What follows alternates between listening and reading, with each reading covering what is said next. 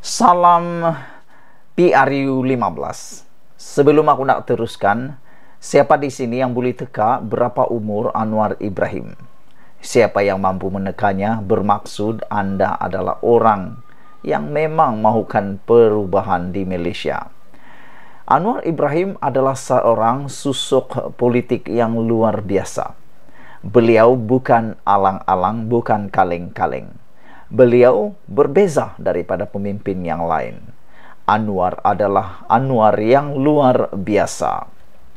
Bagi mereka yang mengikuti kempen PRU 15 yang sedang berlangsung sekarang ini, pasti kamu menyadari bahawa satu-satunya presiden parti yang ada di Malaysia yang ke hulu ke hilir, ke sana ke sini, dari negeri ke negeri, dari Sabah ke Sarawak, Sarawak ke Kuala Lumpur dan sebagainya, hanyalah Anwar Ibrahim berbanding part, ketua-ketua parti yang lain. Anwar Ibrahim yang paling aktif sekali. Setiap hari dan tanpa rehat, beliau akan menjelajah di seluruh negeri yang berbeza di Malaysia untuk menjalankan kerja kempennya. Selain tidak juga melupai kawasannya sendiri yang ditandinginya yaitu Tambun, kawasan di mana dia akan menang nanti. Di setiap negeri yang dikunjunginya itu biasanya sudah diatur lima atau enam program yang perlu dihadirinya daripada pagi hingga lewat malam. Dalam setiap program yang dihadirinya itu juga, selain beramah mesra dengan pengundi, Anwar juga akan menyampaikan ucapannya yang mana paling kurang selama setengah jam di setiap program. Sebagaimana biasa juga, ucapannya sentiasa penuh semangat dan bertenaga untuk meyakinkan pengundi agar melakukan perubahan dan memenangkan PH dalam pengundian PRU 15 pada 19 November ini. Melihat Anwar berkempen dan ke sana ke sini bagai lipas kudung setiap hari, bukan saja tenaganya terlihat luar biasa, bahkan seperti tiada istilah penat dalam dirinya. Siapa yang berani menafikan itu? Kita semua dapat melihatnya. Walhal, usia Anwar Ibrahim, ini jawabannya kepada persoalan tadi yang aku tanya ialah, kini sudah mencecah 75 tahun.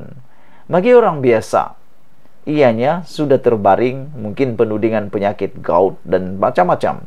Tidak boleh lagi ke sana ke sini tetapi Anwar Ibrahim dengan usia 75 yang bukan muda macam dulu lagi masih tetap kuat, bertenaga, bersemangat dan hampir boleh mengalahkan anak-anak muda yang lain. Beliau ini pula aktif melakukan kempen sejak sebelum hari penamaan calon lagi.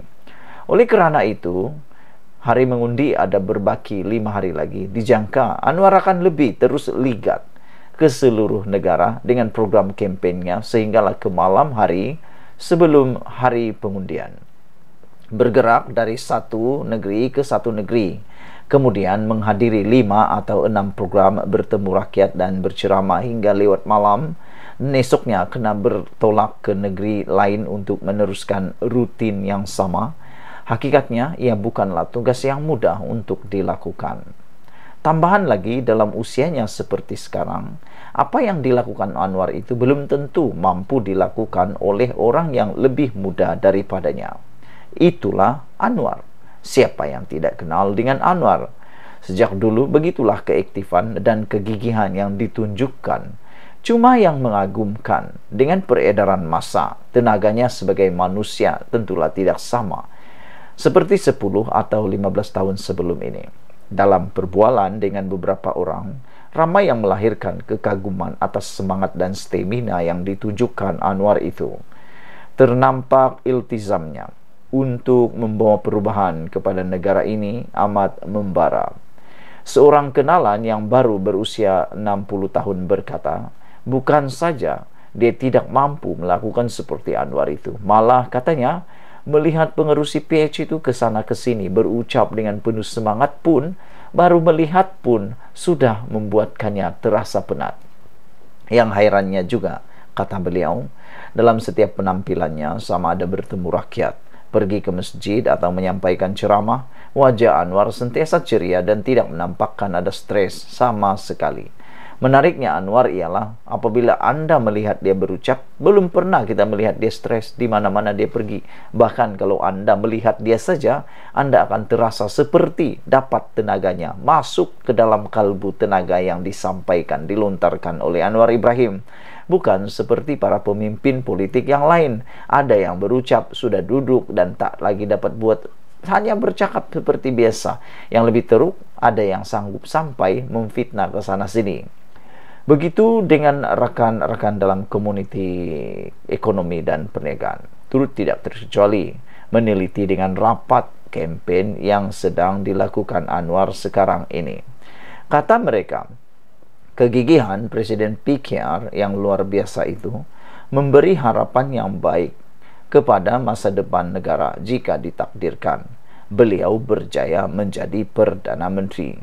Bagi mereka yang melakukan perniagaan masuk dalam komuniti ekonomi, yang paling mereka kehendaki ialah seorang pemimpin yang berjiwa kental. Perniagaan dengan ekonomi sering kali dikaitkan dengan kekentalan, semangat juang, daya juang, kebijaksanaan. Jadi, Siapa lagi kah kalau bukan Anwar orangnya? Hanya beliau yang boleh menggalas uh, perkara tersebut. Kata mereka, kegigihan Anwar Ibrahim ini luar biasa. Ada harapan yang baik kepada negara Malaysia jika beliau ditakdirkan menjadi Perdana Menteri selepas PRU 15 ini. Sebagai bakal ketua negara, kita bukan saja memerlukan seseorang yang berpengetahuan, dekat dengan rakyat, mempunyai hubungan antara bangsa yang baik, serta beberapa ciri yang lain lagi. Kesediaan bekerja keras serta gigi adalah tunjang utamanya. Kerana negara sedang berdepan dengan pelbagai masalah yang serius ketika ini, kata seorang ahli perniagaan yang berjaya di ibu negara. Aku setuju dengan pemikiran ahli perniagaan ini Malaysia sekarang bukan perlu orang yang hanya pandai membodek. Malaysia sekarang tidak perlu orang-orang yang suka membodek, orang-orang yang hanya pandai sakau duit, orang-orang yang hanya pandai mengumpul kekayaan. Malaysia pada masa ini perlukan pemimpin yang gigih bekerja, yang mempunyai ciri dihormati antara bangsa untuk memulihkan semula kehebatan negara kita. Bak kata orang-orang tua, harimau Melaya sudah lama tidur perlu dibangkitkan, dibangunkan semula. Anwar memang ada kelebihan dalam soal itu dan saya yakin rakyat akan menilai kelebihan tersebut demi masa depan mereka. Tegas ahli perniagaan tersebut.